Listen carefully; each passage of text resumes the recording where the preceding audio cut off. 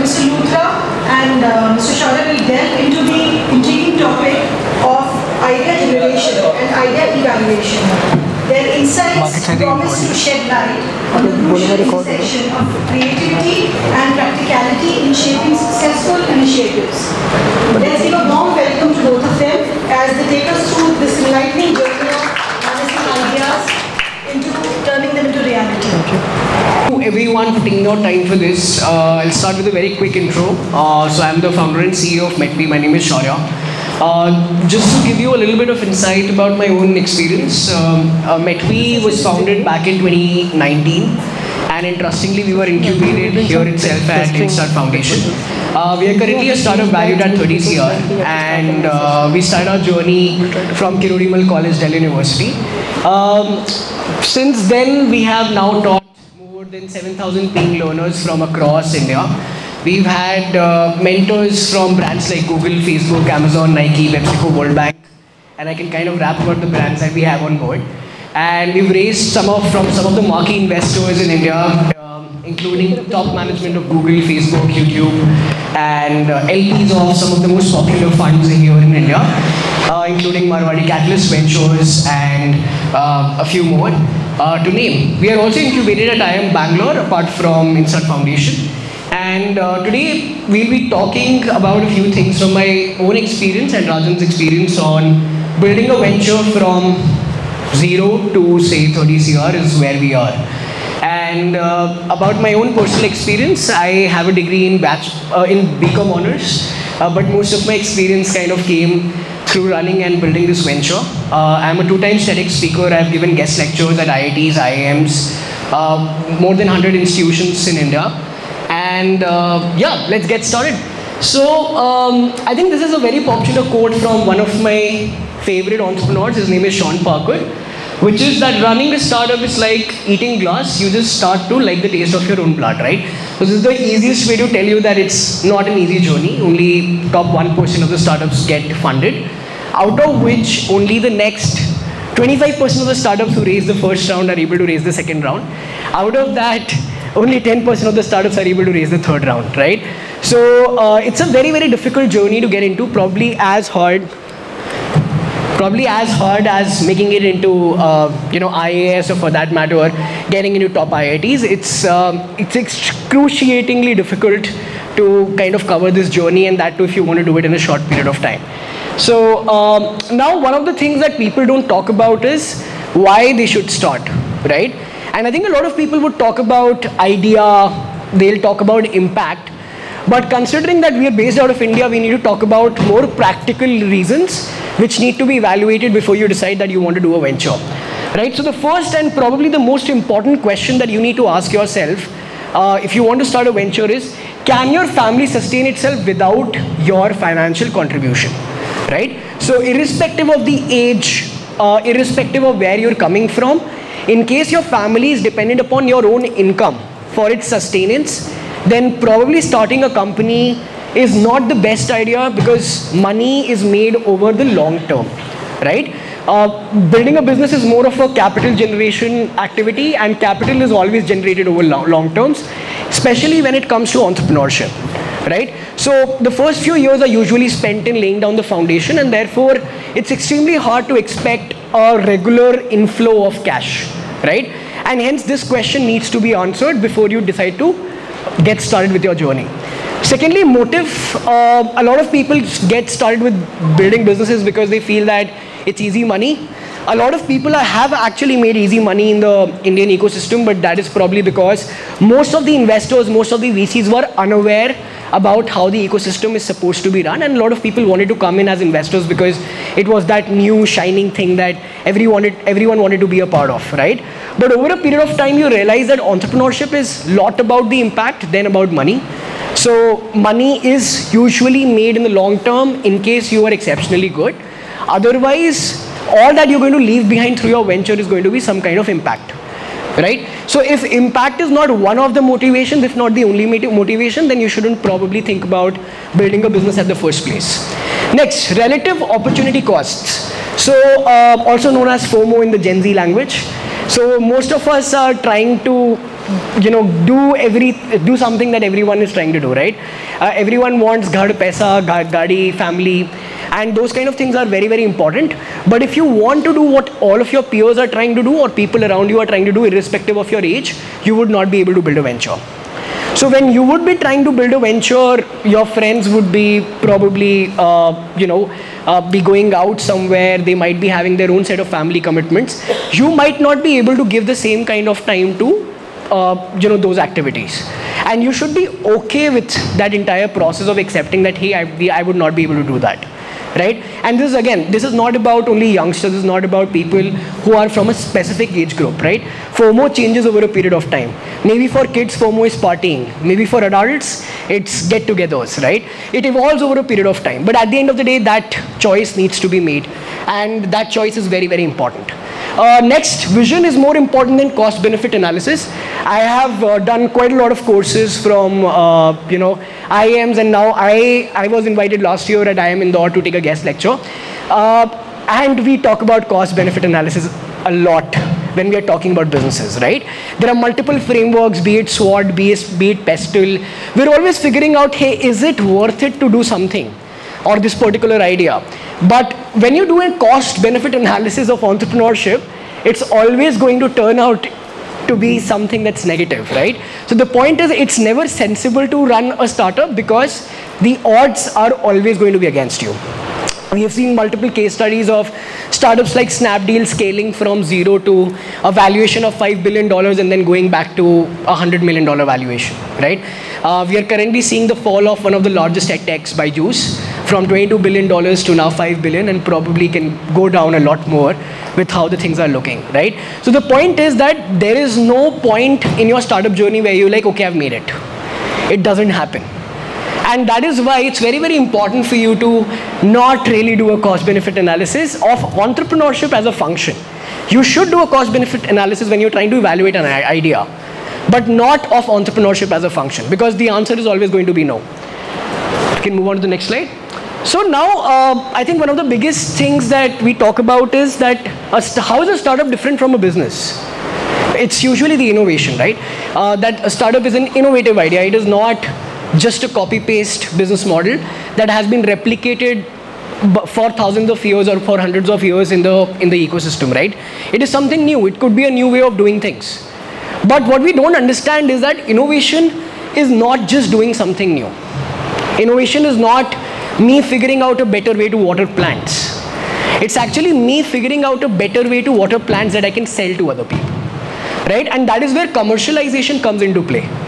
So if I'm a great inventor, if I have a lot of experience in say a specific field, it could be sciences, it could not be, it could be arts, it could be a specific domain.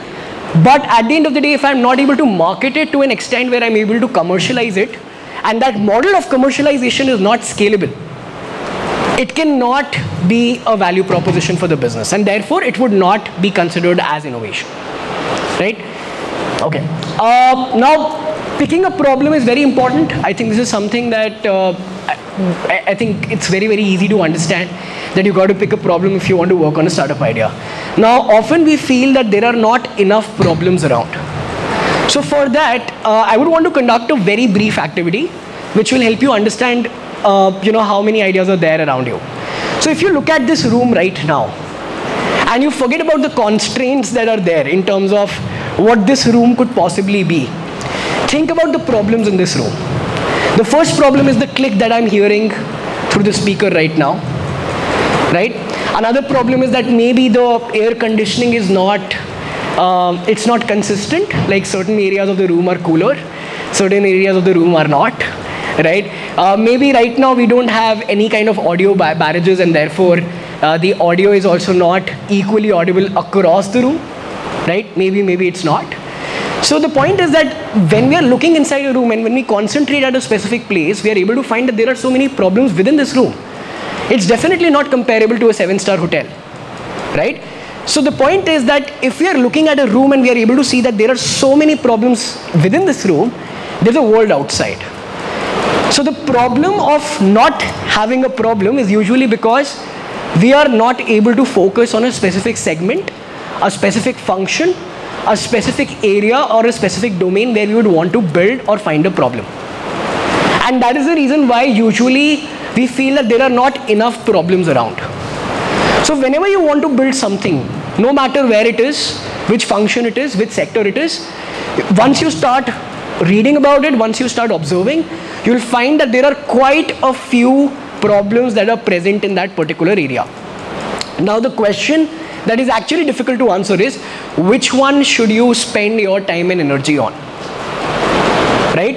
And here is a framework suggested by Y Combinator, which is uh, one of the best incubators from the world. Interestingly, I and Rajan also graduated from Y Combinator Startup School back when it was not open for everyone. So here are the six parameters on the basis of which you can evaluate a startup problem. It's a very, very easy framework to understand, not at all difficult.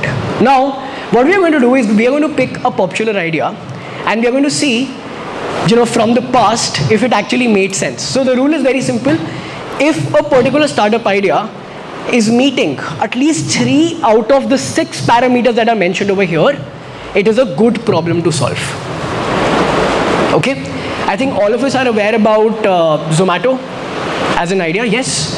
So Zomato, if we look at, let's see, which of these parameters does it actually correspond to? Was food delivery popular in 2010, 2012? It was, right? Food delivery when we used to make calls to the restaurants not through apps, yeah. right? Because that is still food delivery. The only difference is that it's not tech driven. So we used to call up these restaurants, we used to ask for food, we used to understand if there are any discounts going on, and we used to order, make, make our orders, and we used to get all of these, uh, you know, delivery people, and they used to have an extra charge, usually about 50, 100 bucks that we used to pay, and that's how it worked. So it was a popular problem. Was it growing? Were, were more and more people looking to get the food delivered to their places? Yes right? The delivery fleets that were required by restaurants was going up. There are multiple reports that were actually suggesting that at this point. Was it an urgent problem? Not really. More of a luxury, right? So not everyone would want food to be delivered at all times. It's not a do or die kind of a feature, right? Was it an expensive problem? Food delivery? Yes. Yes. For the restaurants, it was very expensive. Even for people, if you know, restaurants used to, at the end of the day, charge that cost from the people, from the customers, right? And therefore, over a period of time, we did not realize it, but we were paying huge premiums to restaurants for getting this food delivered to our places, right? And therefore, it is an expensive problem to solve. Next, is it mandatory? Of course not. It's not like the government doesn't ask you to deliver, you know, get food delivered to your place. So it's not really a mandatory problem. Is it frequent? Do you get food delivered at least once, at least more than once a month? Yes. So every weekend we used to call up our favorite restaurants and get food delivered, and therefore it is a frequent problem to solve for. So how many parameters was Zomato trying to solve for? One, two, three, four. More than three? Now you can decide to pick up any problem that you want or any startup that today is a unicorn or for that matter is successful to a certain degree and you would realize that it's at least three or more of such parameters that they were actually trying to solve for. Right? Let's move on to the next slide. Sorry, I have a question. Yes, of course, of course. Yeah, yeah. I just want to understand how popularity is a problem. So popularity is a parameter. Okay. It's not a problem. And something is already popular, let's say that uh, I'm just talking from uh, a current perspective point of view. For example, I want to get into the food industry, but I know that it's already popular. Why would I want to get my hands onto some segment which is already popular? Precisely. So what you will notice is that popularity. So if you talk about a new idea, which is popular, you will realize that it's not likely to meet the other parameters. Now it would not be urgent. Now it would not be frequent or expensive. So it has to be popular along with So popularity is one of the six parameters. So you need to match any three. So for example, COVID masks was a very popular problem to solve. Right? Everyone needed a COVID mask at the end of the day. But now we are not seeing a million, multi-million dollar startups solving for it. Why? Because probably popularity is the only trait that it has. It is not a frequent thing anymore. You, none of you are wearing masks, so that's gone. It's not expensive at all. It's not mandatory also anymore. So you, when you actually cross-check, you'll realize that only popularity is there. Nothing else is there. And that is where the three threshold number really plays a huge role. So now the now one of the things that we need to understand is that startup idea is always a hypothesis. It's always a statement with multiple variables, right? If X number of people need Y and are willing to pay Z amount, then my startup would be a success, right? Now, when you say that if X amount of people are able to, are actually, are actually looking for Y, that is also dependent upon their existing set of problems, which is another variable. So, a startup idea is nothing but an equation with a lot of solved and unsolved variables. Some of them are solved because we get the data from newspapers, from the problems that we are facing ourselves, but a lot of them are usually unsolved for which is something that you need to actually understand and try and solve it for yourself as an entrepreneur. So how does this equation look like? I think this is not very difficult to understand. So how do we calculate the value of the potential opportunity? Let's try and break this down. According to this equation given by McKinsey, it's equal to number of target customers into frequency that the solution is used into willingness to pay for the current solution divided by level of satisfaction with current available alternatives. Now just to clarify, this equation is not an equation where you can input numbers or metrics for all of these factors. It is an indicative equation, right? And therefore all the components are more likely to be subjective and objective. Now someone who is not doing the right research will probably end up getting the wrong result of this equation. Which is why there is no sure short way to know if a startup idea is going to be a success or not. Make sense? So we were talking about Zomato. What is the number of target customers for Zomato? Huge number. It's a big number, very big number. Why? Because more and more people are looking to get food delivered. Even people who have middle incomes, on their weekends they are willing to spend two to 200 to 300 bucks to feed their families something that's slightly more fancier than what's cooked at home, right? So it's a huge number, middle class plus all the classes of population above middle class. That's a very big number in India. Frequency that the solution is used. Most of the people in India at least order food three times a month, if not more. right? Next, willingness to pay for current, current solution most of the people know that the delivery cost of getting this food delivered is at least going to be 50 bucks, if not more. And a lot of restaurants were previously charging more than that.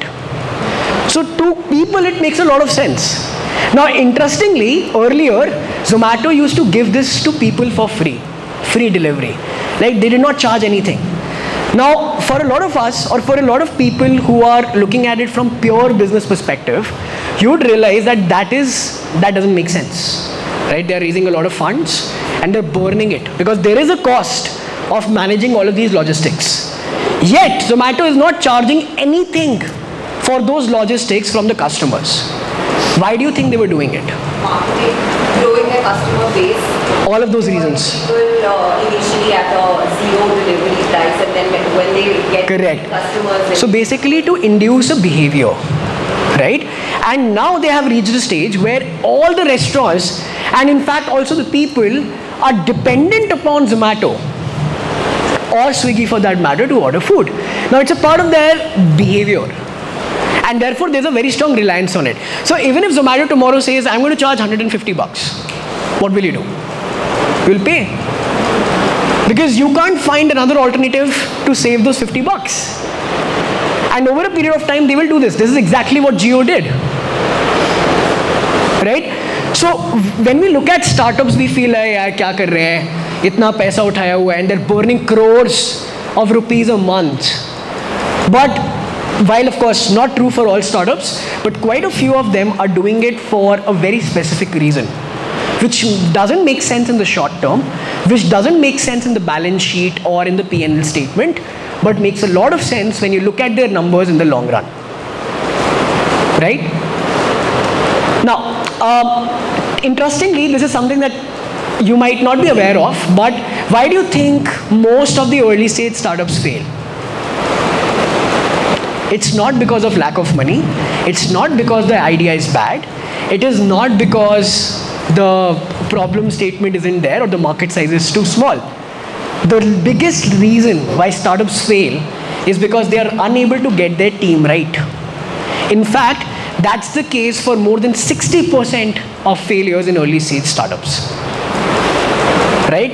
Picking out the wrong co-founder, picking out the wrong co-team members, right? Not having healthy team dynamics.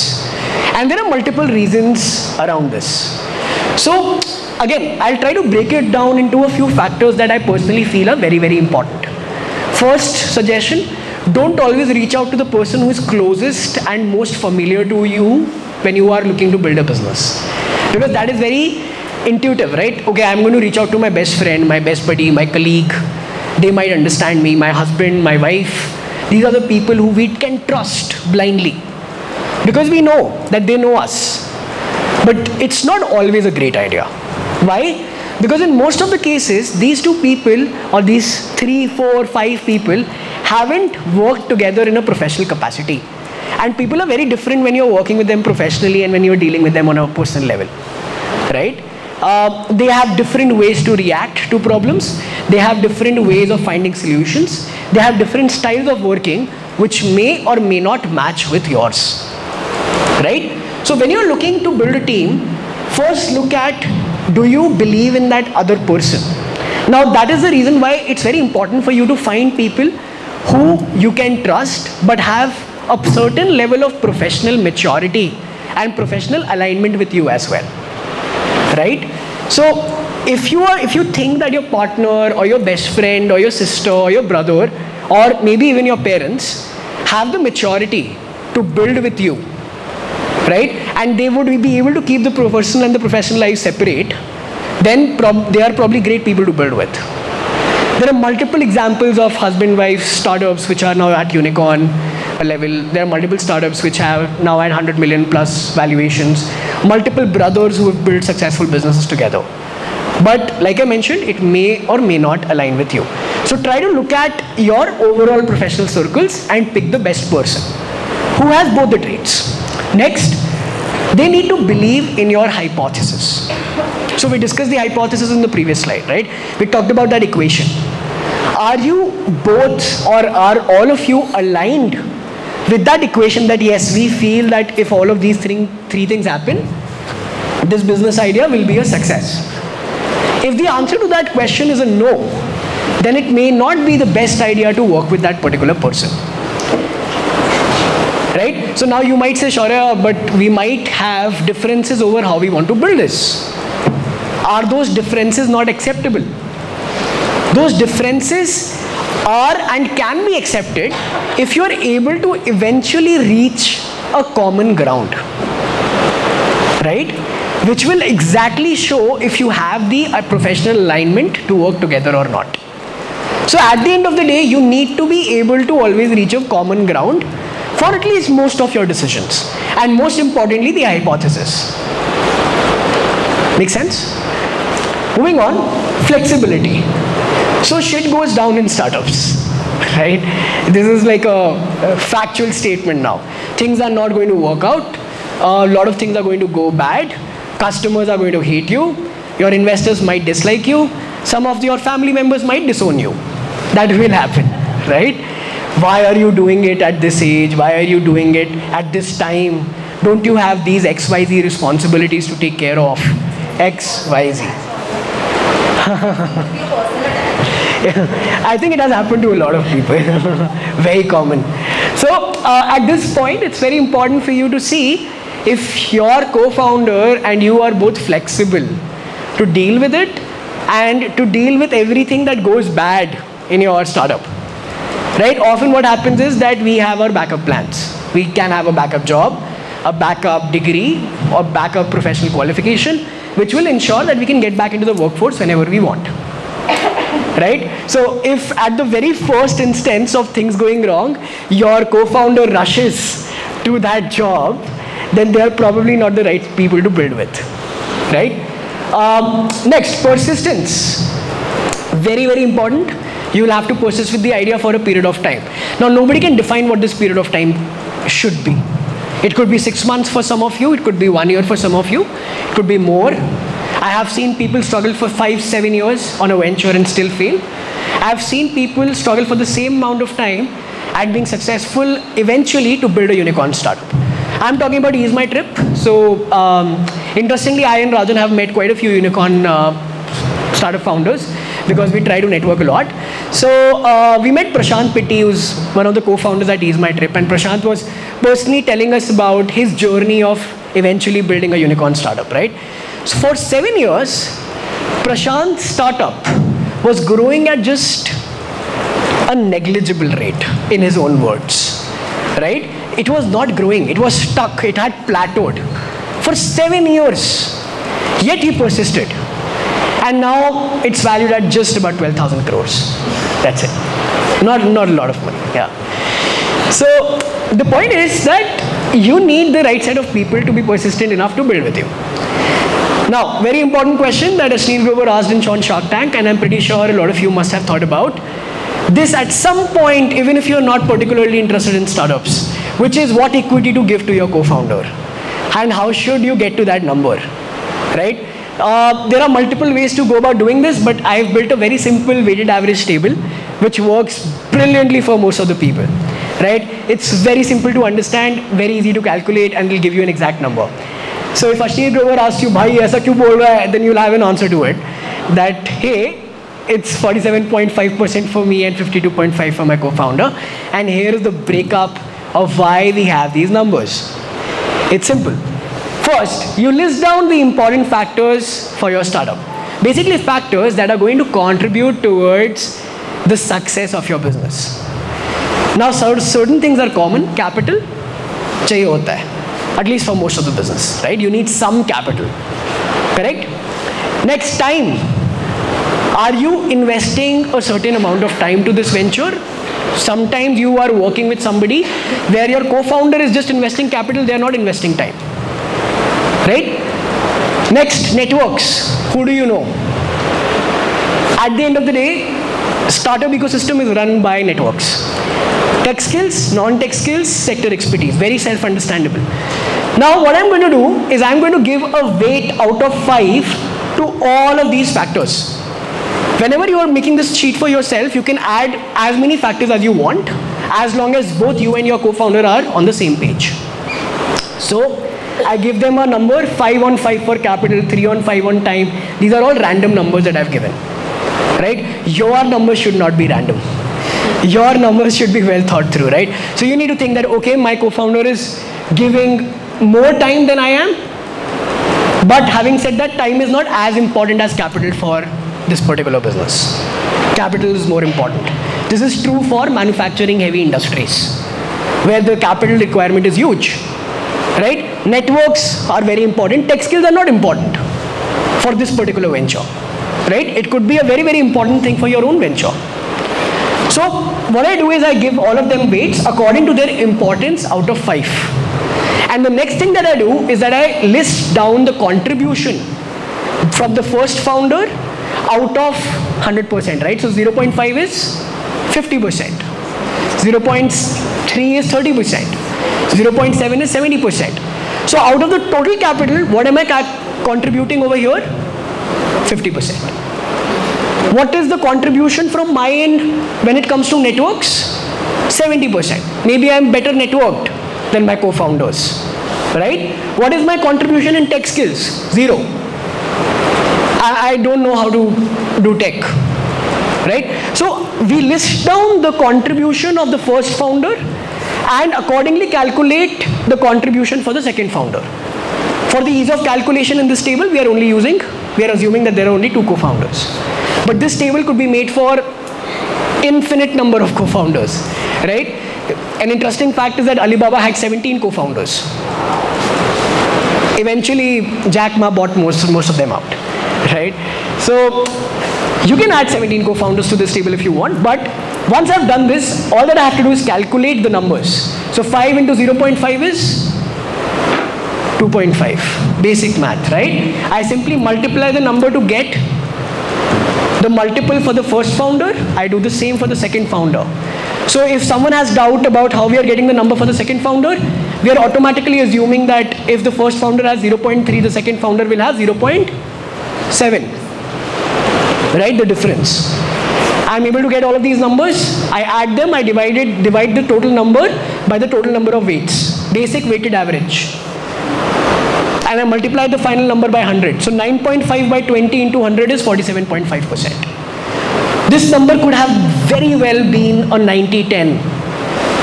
And if my investors would have asked me, Shaurya, why do you have 90% stake and why does your co-founder have a, a 10% stake?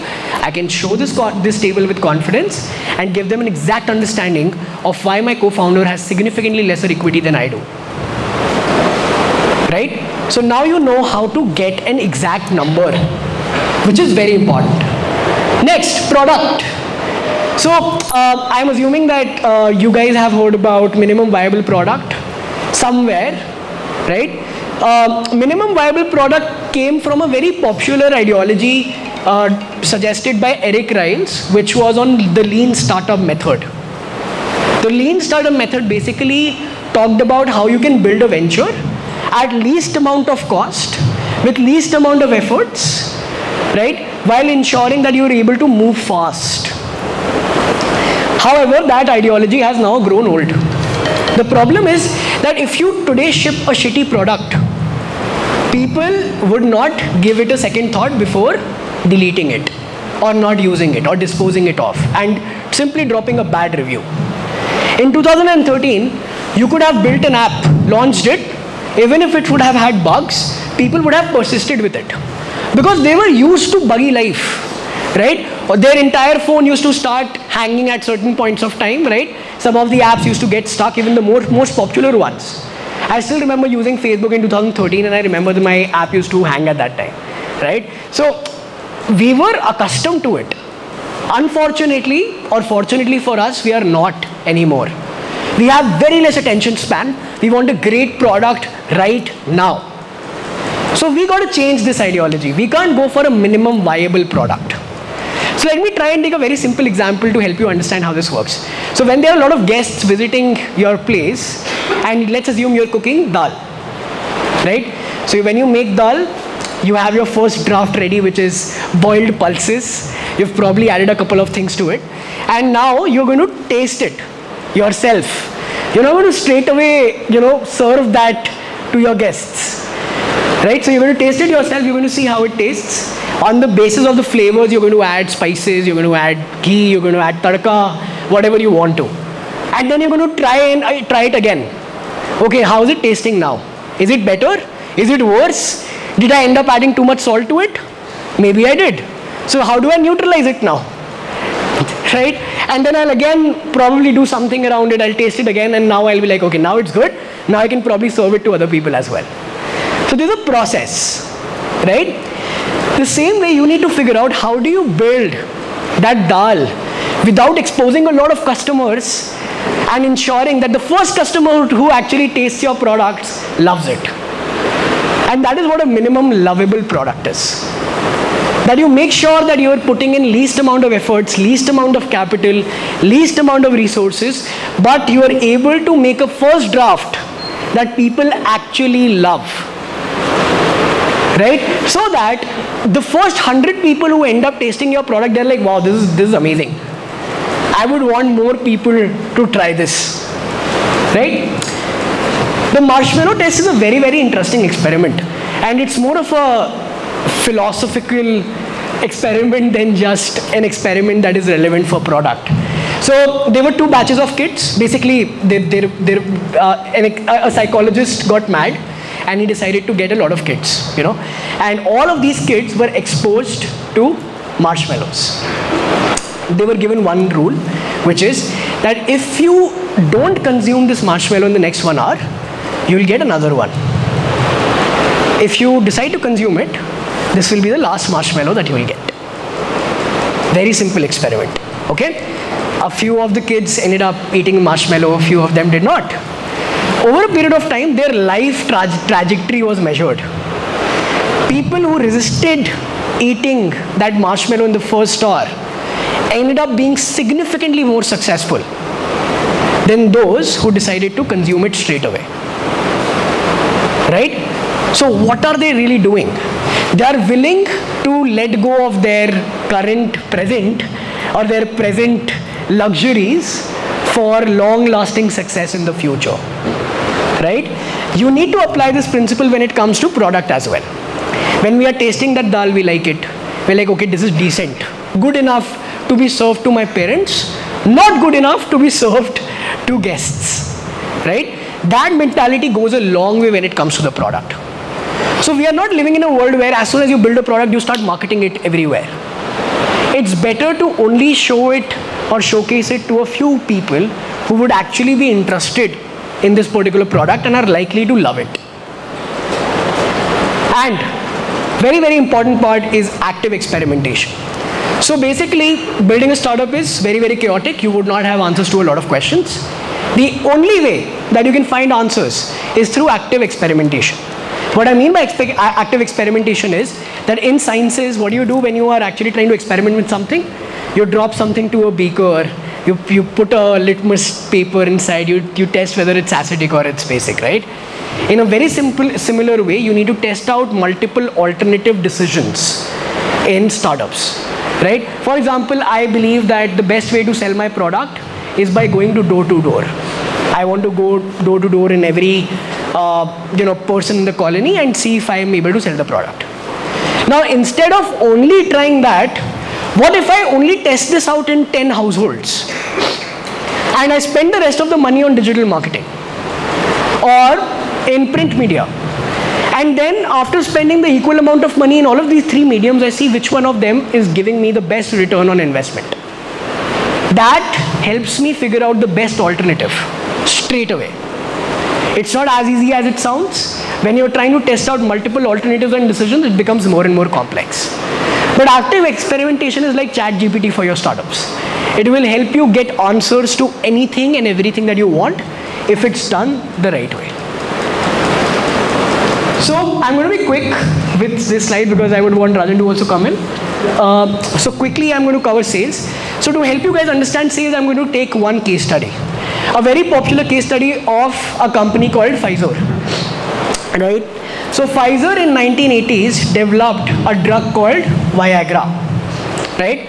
And when they made Viagra, they started reaching out to American newspapers, right? And they were like, we want, we want to sell this drug it's revolutionary. There is no competitive product out there, and 10% of all men in America face erectile dysfunction. So it's a great product. It can actually change the sex lives of so many people. But all of these newspapers were like, we are not going to do this. This is just doesn't align with the vision of conservatism that we have, right? So Viagra basically did held a press conference. Okay, the presenter of this press conference stripped down naked, consumed the Viagra, and showed it impact, its impact to all the people who were there in the press conference. Now, you could have imagined what would have happened next, right? All the newspapers, all the portals were literally talking about what happened here. This is not acceptable, right? Viagra faced and Pfizer faced a lot of criticism. But what that actually did was help them get publicity. Men who were actually going through the problem rejoiced with joy because they finally had an answer. They started flocking to chemists, and within seven years, Pfizer became a unicorn. So, when it comes to sales, what you need to understand is that there is something that we call the sales funnel, sales 101. It has four elements to it awareness, interest, desire, action. Awareness is about ensuring that more and more people are aware about the product that you're building. Interest is about ensuring that you're either solving the want of the person or the need, maybe even both. Right? Desire, actually convincing the people that they should buy your product and not the other alternatives. Because not about its features, but because it's being sold by you the entrepreneur or the brand at the end of the day is the real value proposition between two products. Even if one company has a huge lead in terms of innovation in a particular product, eventually the competitors will catch up. We saw that with Apple also. But Apple sales did not de decline because of that. Because by then, Apple had built a relationship with its customers. Make sense? And finally, action. Ensure that people are actually going to the stores and buying your product. So I think on that note, I would want Rajan to take over and talk about some of the things like fundraising and market research. Thank you so much. So yeah, I'm, uh, I would be talking about fundraising. I mean, for every business, it's very important to raise funds. But I think first question you need to ask yourself whether you actually need, need funds or not. Because there has been a there has been a thing that you know fundraising becomes suddenly gambler, uh, glamorous, right? That okay, my startup has raised five million dollars. People bragging about their fundraising metrics, but more or less, I think they should think that what kind of a sales they are trying to do. And you will see a lot of startups have raised a lot of funds, but they're not able to do a lot of sales, and because of which the valuations are going down, and people are saying the bubble is going to burst, this and that. This is all is being happening. So um, yesterday I attended a conference where they were talking about three phases of startups. So uh, the, the speaker was uh, uh, Rohit Bansal, who is a co-founder at Snapdeal. So I luckily got a chance to attend that conference and they talked about three things. Earlier in 2012 or 2013, what used to happen that founders used to show their profile. That here we are from IIT Delhi, we are from IIM Ahmedabad, we are from INSEAD. And on the basis of the profile, they used to raise funds. Right? What happened during 2016 and 2017? If anyone is doing something different, investors are willing to invest. Okay, if he's doing, doing something different, okay, this particular VC has invested, we should not miss the train. So earlier founders were trying to sell the, like raise funds through their profile. Later on they were trying to raise funds through doing something different. But now if you see very carefully that due diligence is happening and if you have great numbers then only investors are putting money in your company. So it means now no one will see that how great profile you have, no one will see how innovative product you have. सीधा पूछेंगे कि revenue कितना कर रहे हो and I think this has a so this has been changed till 2012 to 2023 that now in India also people are more focusing on revenue and if you want to raise funds you have to keep your metrics very strong. This is a curve that has been uh, there uh, this is a curve that is there, right? When it comes to startup phase, startup phase means when you are at the zero time. So x-axis is time and y-axis is revenue. No, my five minutes, I think. He's trying to find Yeah, sure, sure. So when you are at a startup stage, probably with zero revenue and zero time, you would be raising from FFF, which is founders, friends and family. So for example, if, if किसी के mind में कोई idea आता है, they go to their parents and parents say, okay, that uncle is very rich or that aunt is very rich, go call them. So this is how it used to happen at a, at a very infant stage, right? That you go to your relatives. So this is called FFF, where founders and family put money in the company. When you have a product, it means you might not have any numbers, but you have a product which you want to take it to outside and show it to people and you need money. And that we call early stage. So in early stage, individuals comes and invest. So for example, if uh, let's say um, I have a lot of money and if someone, Ayush comes and asks me that, okay, Rajan, please fund my company and I'm coming as an investor. So I would call myself as an angel investor. But let's say now Ayush business has grown to some extent and he's doing a lot of sales and he says that I want to expand outside India. So maybe first I might not take him very seriously. I might say that, okay, you are joking, but in case it happens, if it really happens, so what we will do, now, now we need more money. So I will ask in this room that how many people have actually a lot of money. And let's say if 10 12 people we have a lot of money. You have a lot of money but you don't know how to scrutinize startups. And so what I will do I say I will come and tell you that let let me scrutinize the startups. And you all pool your money together and let's start a VC firm called Metvy Capital so now if you're pooling money in Metvy Capital and on your behalf I am shortlisting 10 startups putting money in 10 startups and giving returns to you so that will be called a venture capital so venture capital comes at the growth stage when your ask is probably 200 CR, 300 CR, 400 CR, 1000 CR. And if the ask is more than 1000 CR, then it comes to private equity. It means that you are an unlisted company, but you're a matured business and you need a big player to drive your growth. So this is how it curves looks like that from angel investor to venture capital, but it doesn't mean that you can't raise from a VC at the ideation stage.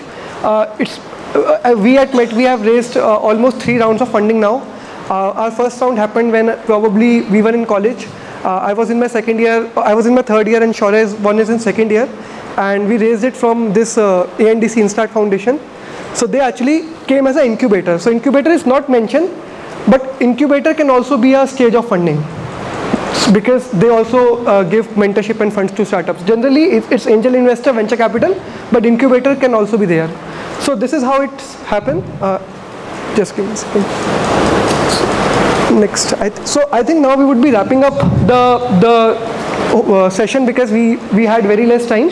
So talking just about Metvy, that what we do right now, uh, just a small uh, brief of what we are trying to do. We are trying to um, create cohort-based learning experiences for students. For example, in one hour, like we made you teach entrepreneurship. So we have a complete program on entrepreneurship that we teach to multiple students, right? So far we have taught 15,000 students and it's not just entrepreneurship, data analytics, how to get into consultancy firms. A lot of skill sets are there where, you know, sometimes I think college education needs to be supplemented with some other practical aspect. So for example, in our cohort entrepreneurship, we will ask you to work on a venture. We will ask you to make cost sheet. We will ask you to make a pitch deck in, in a month of, in one month span. So this is how we have collaborated with SRCC in the past, IIT Delhi, Ashoka, IIM, Indore, uh, uh, more than 50 colleges now. And right now we are also helping colleges to understand, you know, because the new education policy also, uh, you know, want colleges to put entrepreneurship as a very active part of the curriculum when it comes to having industrial sessions, when it comes to internships. So we're also trying to uh, involved in that and helping colleges in creating a curriculum that is more NEP compliant. And uh, yeah, yeah, I mean, happy to take any questions. So with this, we will be concluding the session.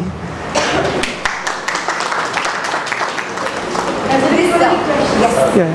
This curriculum you're talking about, is it uh, specific for the subject that a student has to come from? Is it like a, for example, a commerce student can only do Anyone can do it. That is the beauty. Because we have tried to make it in a way, even if you're from, even if you have just 12th pass or 10th pass, then also we would be able to make you understand what is entrepreneurship. How did you guys come up with this idea? So basically, initially we started with a hyperlocal networking app. It was sort of a hyperlocal LinkedIn. Then let's say if I'm looking for a lawyer in this room, there's a corporate lawyer, so we get a notification. And that is how we, I think we pitched this idea to ANDC. I please uh, felicitate both speakers from Metvy.